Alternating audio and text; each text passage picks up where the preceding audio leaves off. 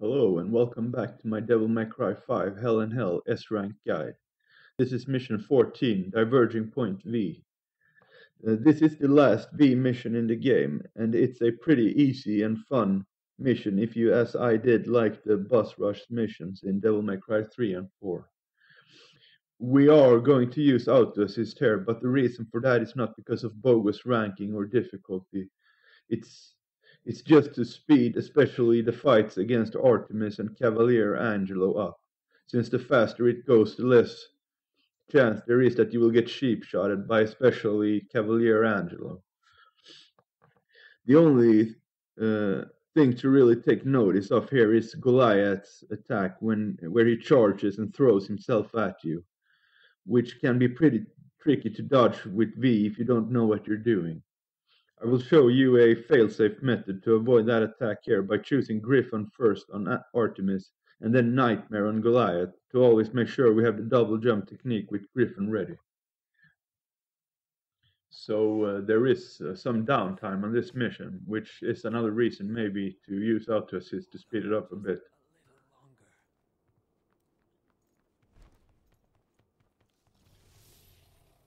And first we're gonna choose Artemis and Griffin.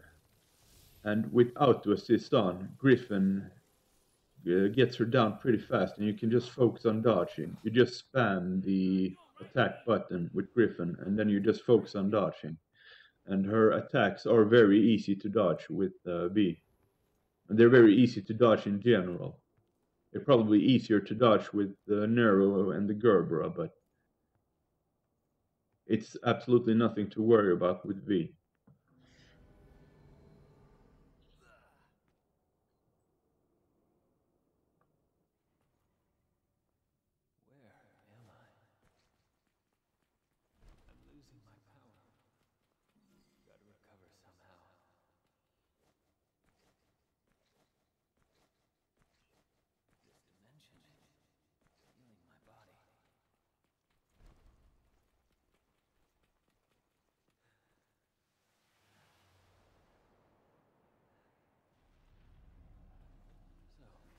So there, there really aren't any attacks uh, that Artemis has that you have to look out for in particular. Uh, what, what, I, what I do on Artemis is I just run to the side. And her uh, vertical attack, this attack, it won't hit you if you just run. So I just run all the time. And uh, the other attacks she does are pretty slow moving, like this attack. So you can just you see it. You you you don't stop running when she does her animation, but just jump over it when when you see another one than the vertical attack. And then I just spam the attack button here with V, and the auto assist makes very quick use of her. And her charge attack, this one, is just jump one time to the side and the iframes keeps you safe. And watch out for that when she shoots out her balls.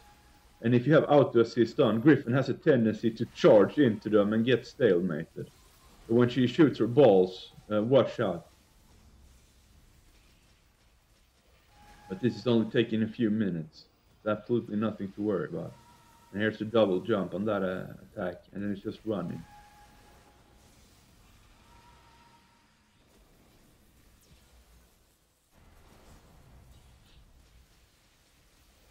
This only takes around two minutes with auto assist and it probably takes four or five minutes without auto assist. Because uh, when you uh, you can't just run around when you don't have auto assist because you have to use the left analog to do inputs on different moves. But you don't have to worry about that with auto assist. And there's Artemis out of the way. Next up is Goliath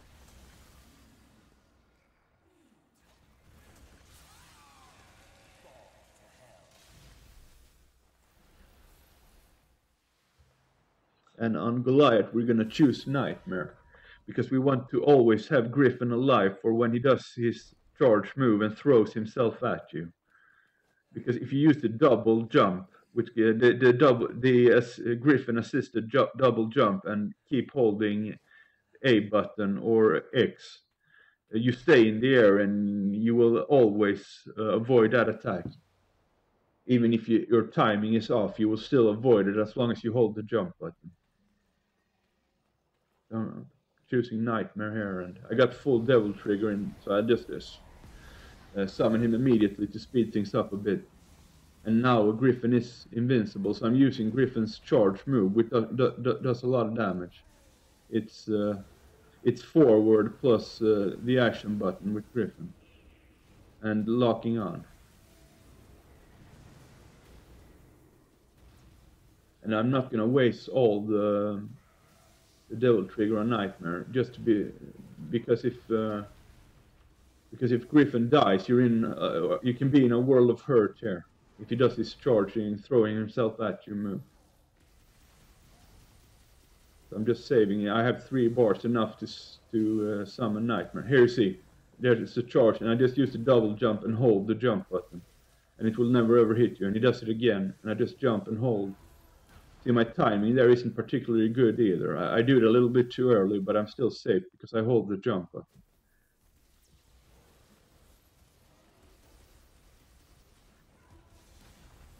And your your inputs um, when you have auto assist on if you do uh, inputs of your own they override the auto assist it's just when you spam the buttons that the, the auto assist moves counts so as you see here I got nightmare again and I'm doing uh, and, and I'm inputting the charge move with Griffin and he goes down very very fast Goliath I think he goes faster than if you use Shadow here. Because Shadow just dies all the time. And this doesn't waste Devil Trigger. You summon, you summon Nightmare here, but as you see the Devil Trigger bar isn't going down as this counts as an Ender move.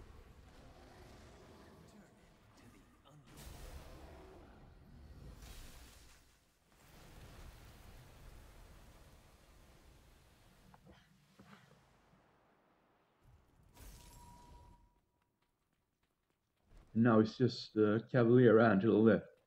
And he can be a bit tricky, but with the auto assist and summoning Nightmare, he's going to go down very, very fast. The only thing you need to watch out for is his teleport attack. And it can be a bit hard to see sometimes. It is telegraphed, but it can be hard to see because of all the stuff going on with Nightmare, Griffin, and Shadow doing their thing at the same time. And Shadow, as you saw there, he immediately gets stalemated. So he's pretty useless on this stage in general. And I summon Nightmare instantaneously to revive Shadow. But you see how fast he goes down without the assist.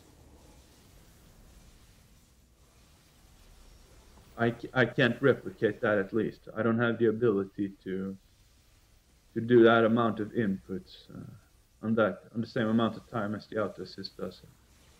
So this is it's worth having auto assist on, on this mission if you if you know if you watch out for the dodges. Or I mean if you watch out and are prepared to dodge. Now I'm just jumping around while he's shooting. And I get the devil trigger back up so I summon Nightmare and this is gonna end the fight.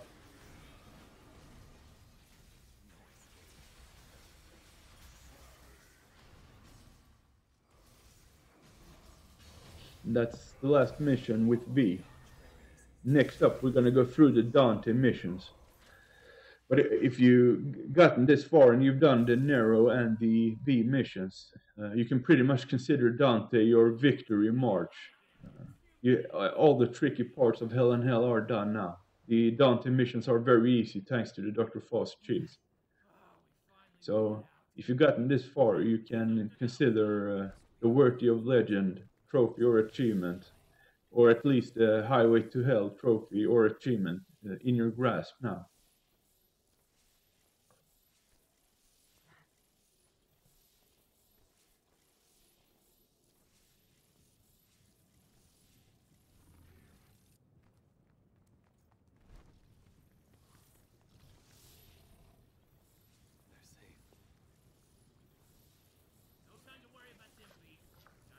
And a thing to note is that if you want to do this mission without auto assist, you can easily get the style points by just mixing up your attack on Artemis with uh, Griffin. And then uh, Goliath, you just summon Nightmare, and you will usually get an S rank when Nightmare is active on Goliath. And then uh, on Cavaliere Angelo, it's also pretty easy to get a, at least a double S rank by just mixing up the attacks and keeping Shadow and Griffin alive with the summoning Nightmare. So if you want to do it without auto assist and uh, have the the leeway of taking up to two hits, you can you can do that without much of a hassle too. I, I just tend to use auto assist here, as I said, to, to speed it up.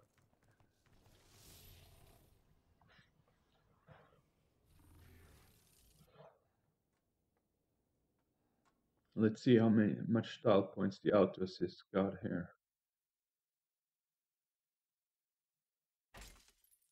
So it got it got over. It got 5,600 style points, and that's that was without the auto assist mixing up the attacks on Artemis. So you don't need to worry about style points if you want to do this mission without auto assist.